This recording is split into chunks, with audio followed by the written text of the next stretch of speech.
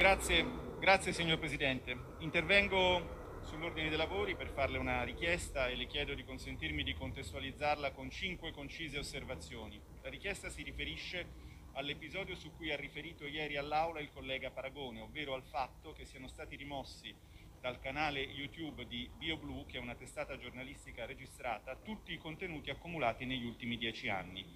Faccio quattro brevissime considerazioni prima della richiesta. Innanzitutto questa è una decisione che danneggia soprattutto l'azienda.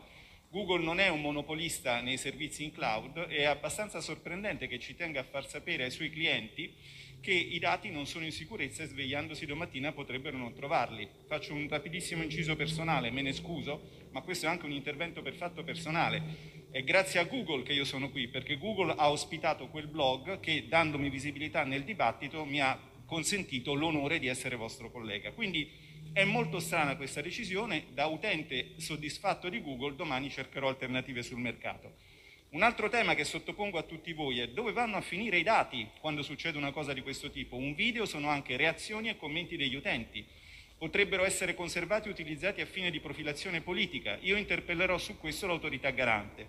Un terzo punto, rapidissimo, ricordiamoci che Eppur si muove ai suoi tempi, quattro secoli fa, era una fake news. Dieci anni fa l'austerità fa male era una fake news, ma solo su BioBlue chi voleva argomentarla poteva trovare spazio.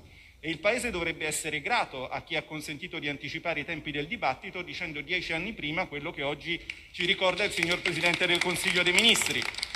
Infine, ultima sottolineatura prima della richiesta, che sia diciamo, motivo di orgoglio per tutti noi, dal 24 marzo è finalmente operativa la web tax. Questo significa che l'Italia è riuscita a come dire, imporre una norma di civiltà ai giganti del web dove l'Europa è ancora in ritardo e l'Ocse in grande ritardo. Quindi si può avere a livello di Stati nazionali un'interlocuzione, approfittiamone per una riscossa di civiltà non solo sul piano fiscale, ma anche su quello dei diritti fondamentali, come quello della libertà di espressione e quindi vengo alla richiesta, ringraziandola per il tempo che mi ha accordato. Noi siamo eh, un ramo del Parlamento sensibile a questi temi e guidati da una giurista sensibile e illuminata come lei, le chiedo di poter incardinare un dibattito su questi temi che possibilmente giunga a una risoluzione o comunque un atto di indirizzo del governo in questo ambito e anche di favorire l'iter di un disegno di legge su questa materia che come contenuto minimo dovrebbe avere, lo verificherò col collega Moles,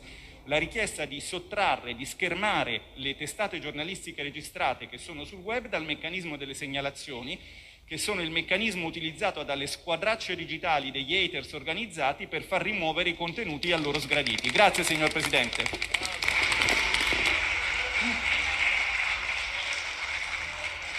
Senatore Bagnai, la ringrazio per aver posto all'attenzione di questa Assemblea un tema così importante e lo porrò eh, all'attenzione della prossima capigruppo. Grazie.